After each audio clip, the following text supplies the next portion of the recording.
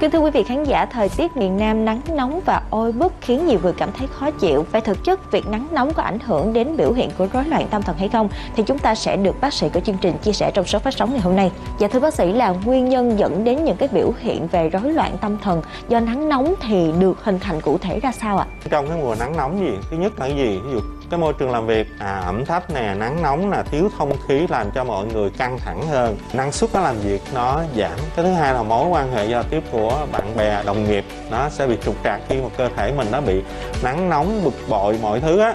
Thì có những cái à, trò chuyện vui vẻ ha, hay là chọc ghẹo một chút làm cho mình khó chịu hơn à, không vui nữa. Thậm chí có những cái cuộc điện thoại làm cho mình căng thẳng. Dạ thưa bác sĩ là đối với người bình thường như chúng ta thì đã cảm thấy khó chịu rồi. Vậy với những người có bệnh lý nền thì nguy cơ tái phát và nặng hơn của bệnh này như thế nào trong thời tiết nắng nóng? cái mùa nắng nóng này nó làm cho bệnh nhân khó chịu hơn căng thẳng hơn và thậm chí là gì?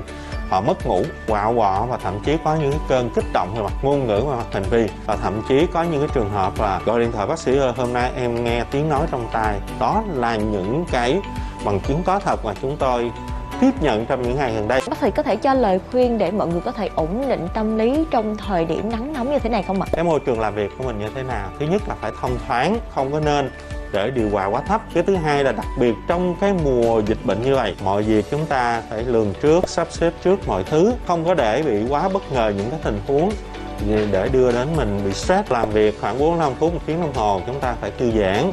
Không đụng tới công việc thậm chí là à, không gặp bạn bè trong công việc luôn để khỏi phải bàn đến những cái vấn đề căng thẳng stress Dạ, xin được cảm ơn những chia sẻ của bác sĩ.